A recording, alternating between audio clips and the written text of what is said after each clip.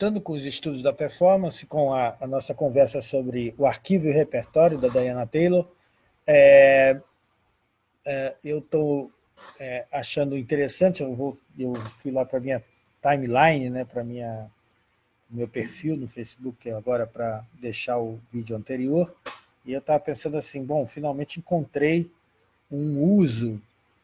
É... Não, nada disso.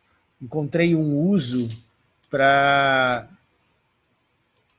Para.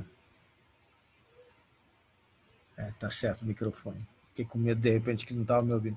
Encontrei um uso para o Facebook incrível, né? Porque o Facebook agora é, se transformou num lugar onde eu posso botar as minhas coisas. Mas eu já tenho, já estava pensando sobre isso também, ah, de futuramente migrar do Facebook para o YouTube.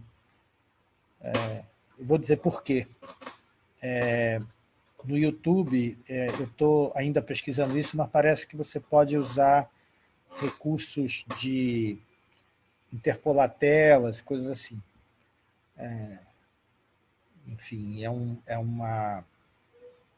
É um, me parece, sob alguns aspectos, mais interessante. Eu vou continuar aqui no Facebook durante algum tempo, mas já estou cogitando, talvez, até de colocar os vídeos que estão aqui também lá, enfim, começar a fazer uma, uma coisa simultaneamente, até ser uma migração para o YouTube, porque é mais aberto também, aí todo mundo vê, enfim, pode ser mais interessante. Então, voltando era só para dar uma enrolada para o pessoal voltar.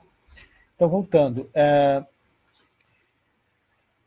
Como transmitir, né? Quer dizer, é, então é aquela, aquela coisa que ela está falando que é o, o, título do capítulo dela, ato, ato, de transferência. Quer dizer, o que, que a performance faz também? Ela transfere um repertório, ela vai usar esse termo, inclusive, um repertório é, de uma civilização leva esse repertório adiante, não deixa esse repertório desaparecer.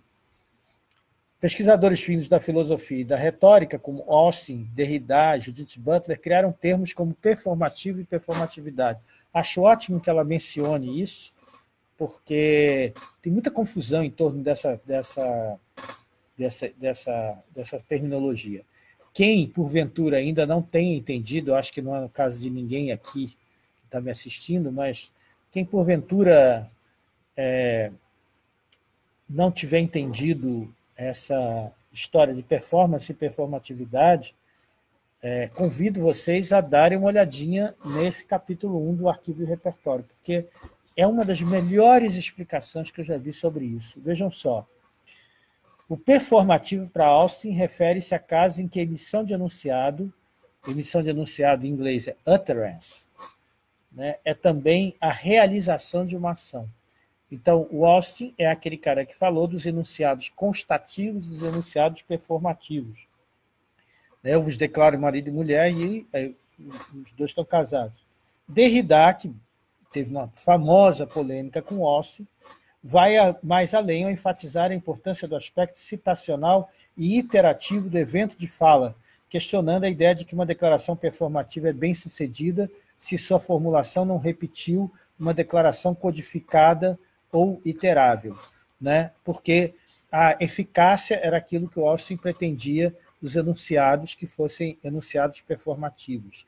Se o enunciado não fosse performativo, ele não teria eficácia. Então, para você saber se ele é constativo ou performativo, perguntar se efetivamente aconteceu aquilo que foi que foi uh, previsto né, pelo, pelo, pelo enunciado performativo.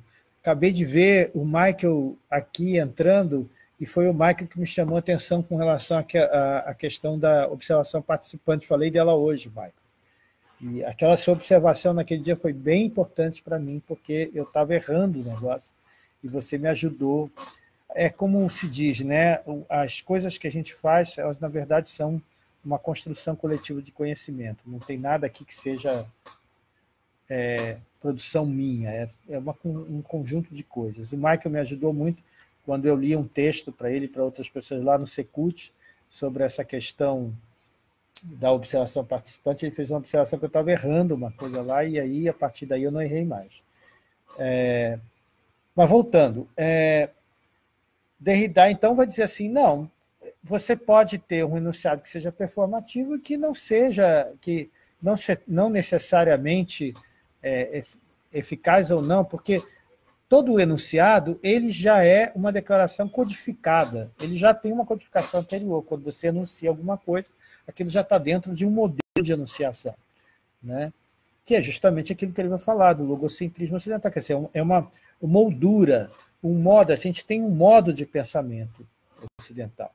Cabe assinalar uma coisa muito importante já desde já para em favor daquilo que é o objetivo principal dessa dessa live de hoje, que é falar sobre a contribuição dos estudos da performance para a, uma leitura decolonial, que é também o objetivo da Diana Taylor nesse livro, cabe observar que o Derrida, ao contrário do que muita gente pensa, é argelino. Era, né? Já morreu. Era argelino. E, portanto, quando ele falava do logocentrismo ocidental, ele estava justamente chamando atenção para o discurso do colonizador, né? no caso, discurso francês, principalmente. Muitas vezes, com tristeza, eu vejo as pessoas bombardearem o Derrida dizendo que ele é um daqueles autores do desconstrucionismo. Ele, de fato, é o cara que popularizou esse termo desconstrução.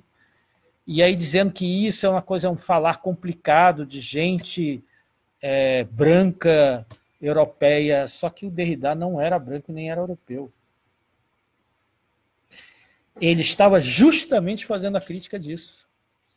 Né? É o contrário.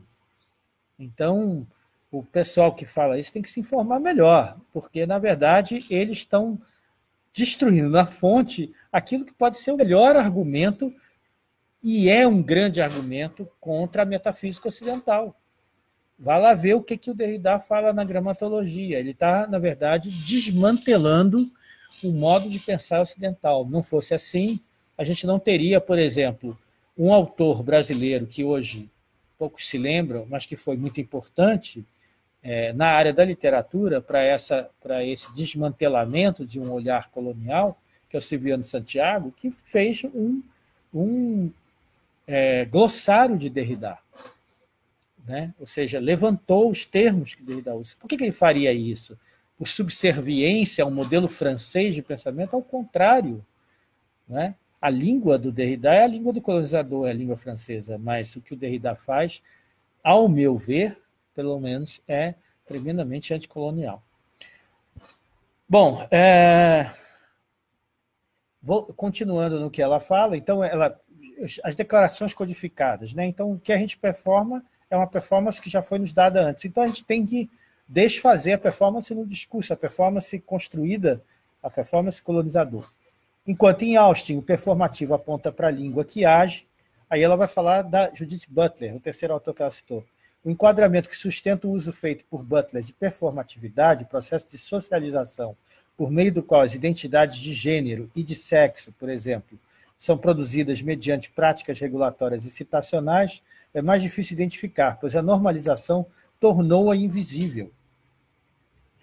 Enquanto em Austin o performativo aponta para a língua que age, em Butler o performativo segue na direção oposta, subsumindo a subjetividade e a agência cultural na prática discursiva normativa. Né? Então, quando você fala é, é, meninos de azul, meninas de, de cor de rosa, então você está dentro total da prática normativa. Então, o seu discurso se justifica completamente. E ele se justifica, é, ele consegue é, é, fazer com que as pessoas acreditem naquilo, porque existe, de fato, uma distinção morfológica que faz com que você imagine, então, que aquilo não é uma construção. Para você imaginar como Judith Butler, que não imagina, para você constatar essa construção, você tem que sair dessa obviedade de pensamento.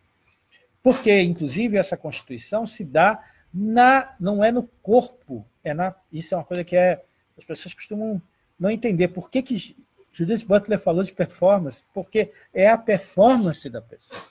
Por isso que você tem meninos, para a desgraça da, da Damares, meninos que são meninas e meninas que são meninos. Né? Porque não é uma questão morfológica, é uma questão da construção do discurso do corpo, se, se é que possa dizer assim. porque ela faz essa distinção entre discurso e corpo. Embora possa ser tarde demais para trazer de volta o performativo não discursivo da performance, porque esse performativo já estava presente na anterioridade do discursivo verbal, né? é isso que ela está querendo dizer. Ah, sugiro que se tome emprestado uma palavra do uso contemporâneo de performance em espanhol, performático. Sim, não é só no português que se usa o termo performático, esse adjetivo que muita gente não gosta, também é usado em espanhol, para denotar a forma adjetiva do reino não discursivo da performance. Forma adjetiva, não substantiva. Tal coisa é performática. Nesse caso, o adjetivo é muito mais interessante, porque ele qualifica, não é? ele não é ontológico, ele não é da essência da coisa, ele qualifica algo de performático. Né? Porque é vital sinalizar que os campos performático, digital e visual são separados, apesar de estar sempre enredados entre si, do campo discursivo, tão privilegiado pelo logocentrismo ocidental. Por quê? Porque o plano digital, o plano visual, não é tão afetado pelo jogo conceitual do discurso verbal, como é isso é, antes dela, é, de forma brilhante, Décio Pinhatari discutiu longamente. Né? Então, do que, que nós estamos falando? Né? Nós estamos falando, na verdade, de, do, do, da, dessa, desse aspecto físico né? do, do, da performance, do performático, né? É, e o performativo e a performatividade são, como ela diz aqui, falsos cognatos da performance. Eu já vi gente, inclusive, dizer assim: não, meu trabalho é mais performativo, para tentar evitar dizer que é performance. Né? É, não, eu não vou dizer que é performance, é, não é bem performance, é performance, mas eu não quero me fechar numa, numa única terminologia. Pela madrugada, meu amigo, você não se quer fechar numa única terminologia, a terminologia mais aberta e mais arrombada que pode existir é a terminologia performance, é uma palavra que é arrastada para cá e para lá por todos os lados. Quando você fala que é performativo, aí sim você está fechando. Porque é performativo de acordo com quem? Com Austin, com Derrida, com Judith Butler. Né? Se você quer reivindicar isso, então tudo bem. Né? Mas percebam que é, essas coisas são, como ela chama atenção, há um, um, um gesto de discursividade que ainda faz parte da do jogo logocêntrico ocidental, do jogo de conceitos e a fonocentria da palavra. Isso que eu também estou dentro disso aqui, porque eu estou aqui falando que nem uma atraca, isso aqui também é profundamente é, logocêntrico e tal. Existe esse jogo e existe uma outra coisa que eu estou tentando, de alguma maneira, fazendo isso aqui, né? Fazer aqui que nem o Glauber Rocha, né? Fazendo isso aqui, eu estou tentando também chamar atenção para o outro jogo do visual aí, né, o visual. Né? Por que, que vocês acham que o Chacrinha fazia aquela performance de alô, atenção, roda e tal, fazia isso? Ele estava falando da emissão. Ele sabia disso, ele estava falando da emissão dele em relação à câmera, apontando para você que está aí do outro lado. Né? Ah, a performance tem também uma história de intraduzibilidade. Sem falar que tradução, traição, né? Parte da indefinibilidade caracteriza os estudos da performance como campo de pesquisa. Então, a performance é aquele campo de pesquisa que já começa assim: o que, que você quer ser? Eu quero ser estudioso da performance. Ótimo, você vai estudar uma coisa que nunca vai ter forma definitiva. Né? Na época de seu aparecimento nos anos 70, como produto de levantes sociais e disciplinares que no final da década de 60 sacudiram a academia, alguém vai dizer assim, não seria indisciplinares? Sim, na verdade eram, mas levantes disciplinares, porque discipline em inglês, inglês, sobretudo nos Estados Unidos, quer dizer, mais ou menos eu falei isso na live passada, é meio um campo de conhecimento, né? Então, levantes disciplinares que no final da década de 60 sacudiram a academia, os estudos da performance buscavam atenuar as divisões disciplinares entre a antropologia e o teatro, encarando os dramas sociais, a liminaridade e a encenação como formas de escapar das noções estruturalistas de normatividade. E aí ela vai explicar o que é isso.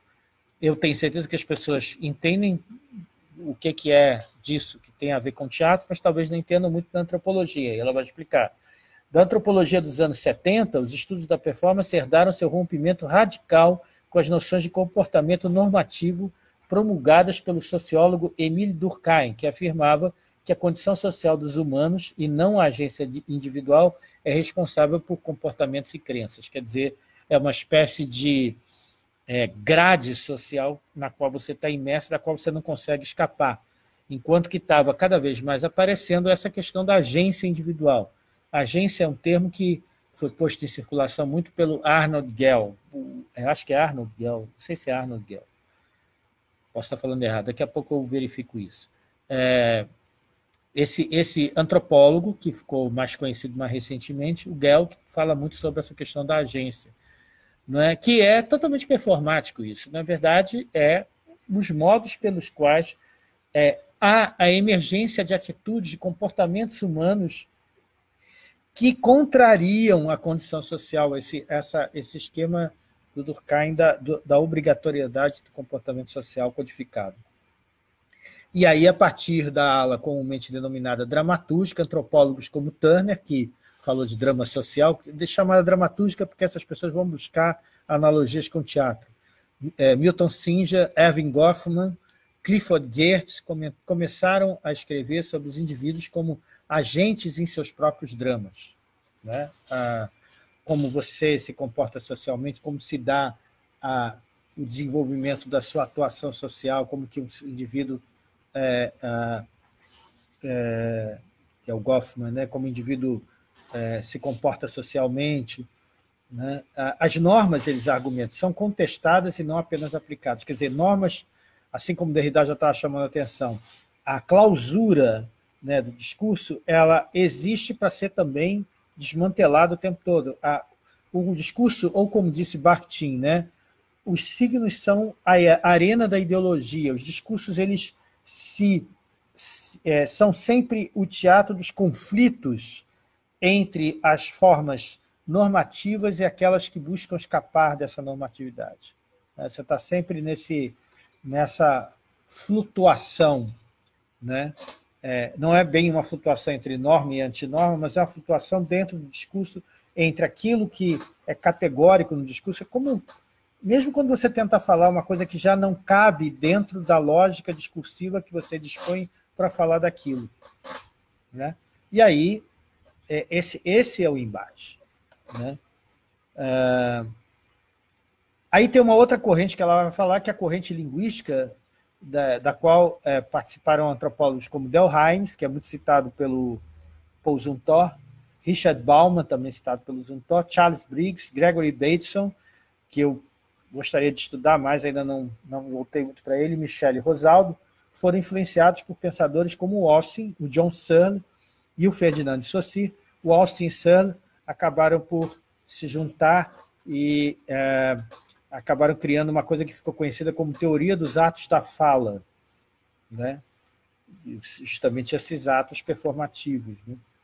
Mas é que o Searle era mais da, do cognitivismo linguístico, né? quer dizer, da, do pensamento uh, cognitivo. Uh, bom, e essa outra tendência, né, a tendência dos linguistas, como nos termos propostos pelo título da obra de Austin, faziam-se coisas com palavras, como How to do things with words, como fazer coisas com palavras. O, o livro em português acabou se chamando Das Palavras Nascem as Coisas, que virou, não era nada disso, né? O título quer dizer, na verdade, como fazer as coisas, talvez faltou a palavra, acontecerem com palavras. Quer dizer, o, Austin era aquele cara que estava assim, não, se você tiver o discurso certo, você consegue fazer a coisa acontecer. Né? Bem americano isso, né? Uh, eu assisti no, no encontro do Instituto Hemisférico, quero mencionar isso que eu acho que é importante, é, aqui, deixa eu pegar aqui, que eu fui na Universidade Nacional da Colômbia em 2009, enquanto se chamou Cidadanias em Cena, e aí, nesse encontro, teve ah, um teach-in, que eles chamaram, né? Um, um, não era um grupo de trabalho, peraí. era o filme VDC. Naquela época, esse, esse inclusive é o Instituto Hemisférico, foi o encontro do Instituto Hemisférico em que a língua portuguesa entrou. Vocês hoje entram no site do Instituto Hemisférico, ele tem o site em espanhol, inglês e português. Na verdade, na ordem diferente. Né? Inglês primeiro, espanhol e depois português. Né? Mas nesse, nesse encontro, que foi um encontro que, então, como eu estou dizendo, que o português entrou, eu me lembro da, da Ana Telo falando para a gente, assim, agora o, a língua portuguesa também vai ser uma das línguas do, dos encontros do Instituto Hemisférico. No teach, nos teach-ins do Instituto Hemisférico estava aqui, eu tive o privilégio de assistir o José Munhoz, saudosa memória, veio a falecer repentinamente, o que são estudos da performance. Né? Eu fiz essa, essa, essa workshop com ele de um dia inteiro, em que ele falava, defendia muito o Alce, né? falava, ah, as pessoas falam mal do Alce, mas o Alce tinha isso, isso, aquilo, coisas bem interessantes. Ele era um estudioso profundo do Alce, e aí ele falou, ele falou inclusive assim, ah, as pessoas acham que o Austin não sobreviveu às críticas do Derrida, ele estava sempre reformulando. Se não me engano, inclusive, esse teach-in, se vocês procurarem na rede, eu acho que vocês acham, acho que está gravado, porque já naquela época o Instituto Hemisférico estava gravando os eventos. Muito legal. Queria mencionar o José Munhoz aqui, ele foi alguém realmente extraordinário. Que pena que não está mais entre nós, pessoa fabulosa, né? E excelente professor, excelente, excelente. É... Então, ela está falando do modelo é... da mesma forma que o modelo dramatúrgico linguístico, que é o do Austin, também enfatizava a criatividade em jogo no uso da língua, já que os falantes e suas audiências trabalhavam juntos para produzir performances verbais bem-sucedidas. Quer dizer, o esforço era para que essas essas performances se realizassem, tivessem êxito. Esse êxito, diga-se passagem, no caso do Austin, é um êxito social, um êxito de conquista de certas exigências ou de certos princípios e exigências da sociedade uh, que é a sociedade americana. Né? Então, um certo princípio de eficácia e tal, que não é muito a nossa onda, mas enfim. É, É, isso é parte da, do pensamento do Alce. Contudo, os pesquisadores que trabalharam na década de 70 buscavam romper o paradigma que fetichizava o local, negava urgência aos povos que estudavam e os excluía da circulação do conhecimento criado sobre eles. Esse, isso ela está se referindo aos, ao que os estudiosos antropólogos, no que os estudiosos antropólogos transformaram os outros, né?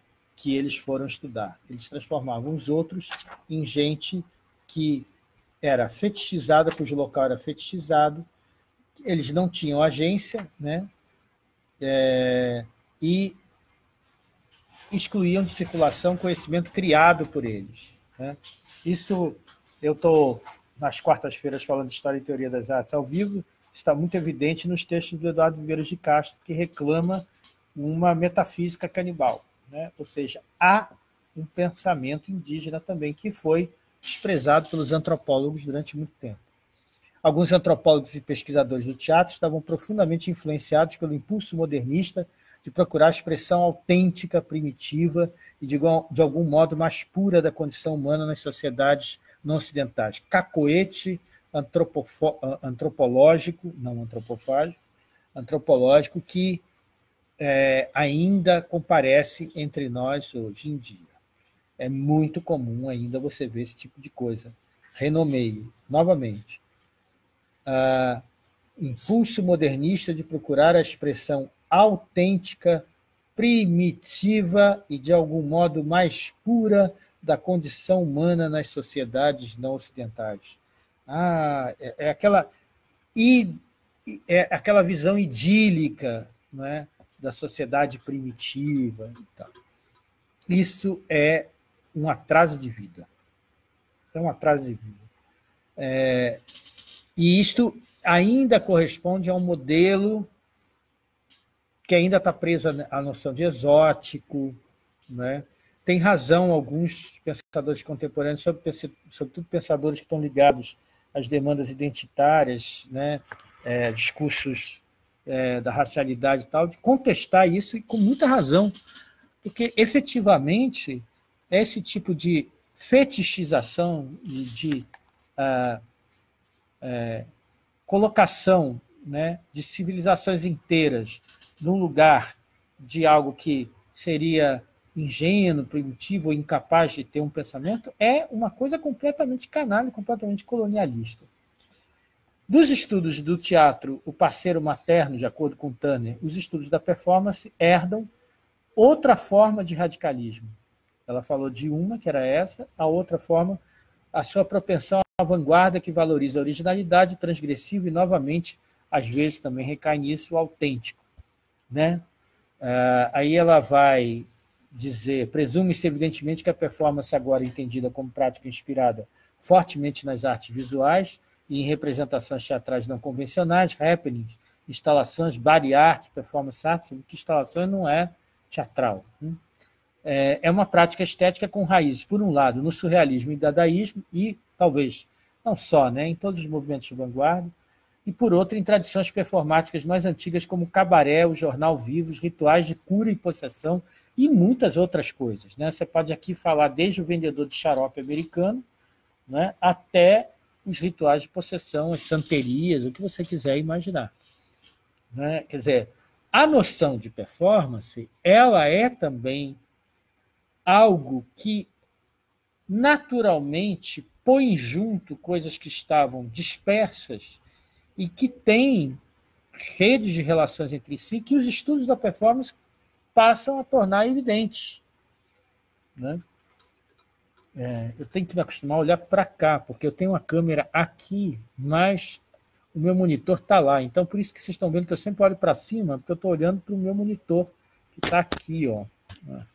É uma confusão entre, entre a, a, a câmera e o monitor. Eu posso, inclusive, fazer uma espécie de é, efeito né, lata de azeite né, em que aparece as coisas em perspectiva aqui.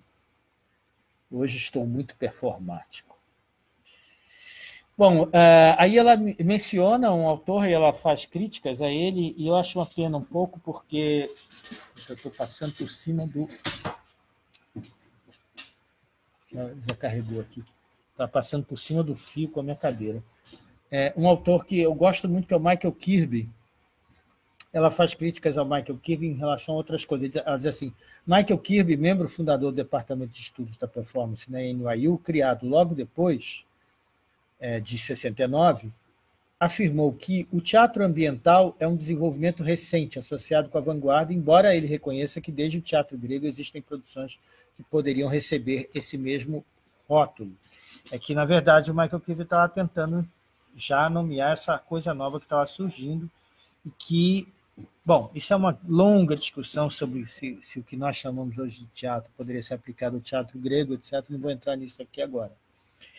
É, aí, mas aí ela faz uma observação que eu acho matadora. Ela diz assim: Frei Montolinia, um dos primeiros doze franciscanos a alcançar as Américas no século XVI, descreve uma celebração de Corpus Christi em 1538, durante a qual participantes nativos de Tlaxcala criaram elaboradas plataformas externas, todas de ouro e trabalhos com penas, bem como montanhas e florestas inteiras, povoadas com animais vivos ou artificiais, que eram uma coisa maravilhosa de se ver, e por onde os espectadores participantes andavam para alcançar um efeito natural. Esse tipo de narrativa também, a gente vai ver depois história e teoria das artes ao vivo, a gente vai voltar a isso, está também nas narrativas que são feitas aqui do triunfo eucarístico na, na, no ciclo do ouro em Minas Gerais, o Afonso Ávila apresenta isso. É, há portanto, um componente performático e ambiental, é aí que ela quer chegar, em coisas tão ancestrais como essas. Né? Então, não é uma invenção de agora. Agora, esse caráter disruptor, que é característico do teatro moderno, isso também tem. Né? Isso é uma coisa que é deslocada. Hoje a gente pode dizer assim, é a performance funciona como uma linha de fuga desse teatro também, do teatro moderno. É, demandaria também o reconhecimento da reciclagem permanente de materiais e processos culturais entre o ocidental e o não ocidental. Esse contato recíproco tem sido, em geral, teorizado na América Latina como transculturação, às vezes como aculturação também. É uma pena que, é, no afã de se ter uma atitude militante em relação àquilo que vem do colonizador, que é necessária, evidentemente, a gente acabe confundindo as coisas e não percebendo que também há trocas nisso aí. Né? Ah, por isso é que eu tenho me arriscado nesse terreno pantanoso, espinhoso, difícil, de meio que é, remexer essas coisas e dizer, não, peraí. É, quer dizer, não é, não é, nem tudo é apropriação. Você ficar nesse esquema assim, ah, todo colonizador chegou, roubou tudo, é, é, e a gente não ficou com nada e tal, isso não leva a lugar nenhum. Você vai só conseguir produzir aquilo que o Nietzsche considerava que era o elemento mais terrível e mais detonador de todos os autoritarismos, que é o ressentimento. Não é por aí. Né? É, ou seja, a gente, a gente precisa compreender em que medida houve trocas é, no processo colonial, trocas inclusive é, é, às vezes bastante desonestas, né? de caráter duvidoso em todas as circunstâncias. Evidentemente que essas são trocas minoritárias, porque as trocas majoritárias, o que era majoritário era a dominação, efetivamente, claro. É, mas a gente entender que essas dinâmicas são bem mais complexas do que parecem ser à, primeira vista. Né? É, então, é um contato recíproco, e aí ela vai falar dessa coisa da transculturação, é, mas diz no final: as discussões sobre os cruzamentos de culturas continuam tensas como sempre. Nesse ponto, eu acho que ela não ter aqui um pouco do concurso do pensamento do Oswaldo de Andrade da antropofagia faz falta, ajudaria ela a pensar isso. Seguindo, as declarações e os documentos históricos, todos escritos por teóricos inegavelmente do primeiro mundo. Érica Fischer Lister, Richard Schechner e José Ferral preparam um caminho. Isso aqui ela está se referindo eu, eu pulei de um ponto para outro e aí acabei não falando disso. Ela cita um livro chamado The Intercultural Performance Reader. É um compêndio é, que ela diz assim: o nervosismo que cerca o não ocidental continua a assombrar grande parte da escrita sobre performance como prática estética. Um exemplo: Patrice Pavis, no sumário introdutório da seção Contextos Históricos em The Intercultural Performance Reader, apresenta um projeto que soa defensivo e bastante paternalista. Eu tenho, nesse mesmo texto que eu mencionei, é, que por enquanto está publicado nesse livro de coletânea de ensaios sobre a obra do, do Otávio Donassi, eu posso pegar o, a referência para ver se, se a gente acha na internet aqui. Uh, deixa eu pegar aqui. Eu tenho o livro aqui. Uh, eu vou passar a referência para vocês, porque quem sabe já está disponível na internet e eu mesmo é o que não, que não sei. Tem que só esperar o meu computador que está lentíssimo. Aqui. Vamos ver. É.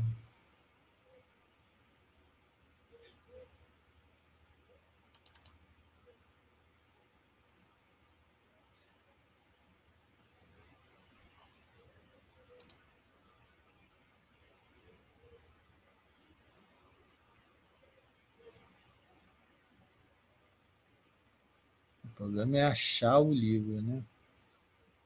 Ah, pelo nome talvez seja mais fácil. Hum, FGH JK Libonais está aqui. Está abrindo.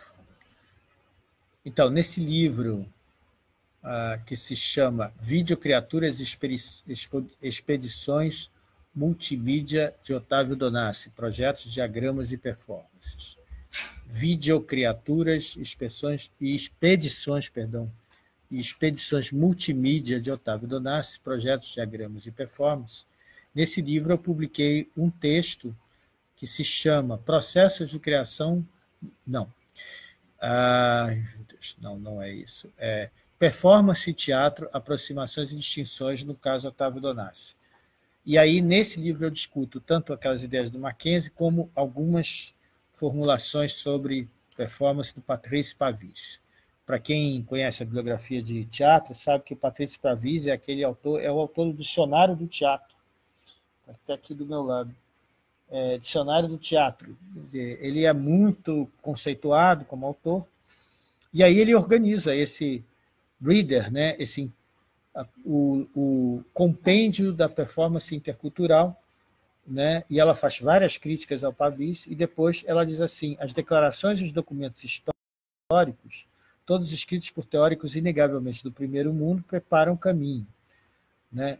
Esses teóricos, quer dizer, quem é intercultural nesse caso, são Érica Fischer-List, o Richard Schechner, a Josette Ferral, que era o nome que eu estava tentando lembrar outro dia, que é do teatro performático, às vezes ela usa o termo teatro performativo, são todos autores é, que veem essa questão de um ponto de vista que é um ponto de vista europeu ou americano do norte, né? no caso do, do Richard Schechner, né?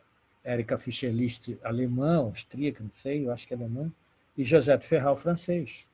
Né? Então, portanto, é, e Patrícia Pavis, francês também. Né? Os outros, os estrangeiros, os não ocidentais, são sempre um problema. E, este, e ela chama atenção, ela faz uma observação interessante em relação a isso, o receio, o medo né, que a, o, o, esse posicionamento europeu tem né, ao tratar disso, assim, com muito receio, inclusive medo de errar. Né? Os estudos da performance surgiram na cena acadêmica como uma bagagem herdada e vem tentando, há muito tempo, superar, muitas vezes com sucesso, algumas dessas limitações. O eurocentrismo e o esteticismo de parte dos estudos sobre o teatro, por exemplo, entram em conflito com o fato de que, tradicionalmente, a antropologia focalize práticas não ocidentais como sistemas criadores de sentido. Então, ela vê nisso uma vantagem da antropologia em relação ao eurocentrismo dos estudos de teatro. Né? É, por fim, na América Latina, onde o termo não encontra equivalente satisfatório no espanhol e português, em geral se refere à performance como arte performática, performance arte. Já vi pessoas querendo falar performance arte. Né? Eu não gosto disso. Eu acho que performance é uma palavra que já entrou no nosso dicionário. E mais para o final vai dizer, embora a palavra possa ser vista como estrangeira, intraduzível, os debates, determinações, estratégias vindos de muitas tradições de práticas incorporadas e de conhecimento corpóreo estão nas Américas profundamente enraizados e prontos para a luta. Contudo, a linguagem que se refere a esses conhecimentos corpóreos mantém uma ligação firme com as tradições teatrais. É, na América Latina, de modo geral, quando você vai falar da isso é coisa jesuítica, né? Isso é a colonização que nos colocou. Né? Então, para falar do corpo, você já fala do teatro. Teatro vem antes de você poder falar do corpo, porque o corpo já é. Ah. Então, assim, falou de alguma coisa de corpo, teatro, dança, dança, teatro. Não, nada escapa disso, né? E a performance inclui qualquer um dos seguintes termos usados para substituí-la, sem se reduzir a eles. Teatralidade, ela usa os termos em espanhol, reparem bem mas é a mesma coisa aqui. Teatralidade, espetáculo, ação, representação. E aí, na próxima parte, ela vai, que eu vou fazer o intervalo agora, para a gente ir para o próximo e último bloco. Né, na próxima parte, o que, é que ela vai fazer? Ela vai explicitar o que é essa questão de teatralidade e espetáculo, ação e representação. São os termos que são do teatro, que são normalmente evocados antes, antes que se tenha a possibilidade de usar o termo performance. É... Isso a gente vai falar daqui a pouquinho. Vamos fazer o intervalo, porque já tocou a campainha aqui. Até já, próximo bloco, eu vou falar sobre é, essas a diferença desses termos. E outras cositas mais ainda no, no texto da Diana Taylor. Não sei se eu vou conseguir dar conta dele hoje. Até já.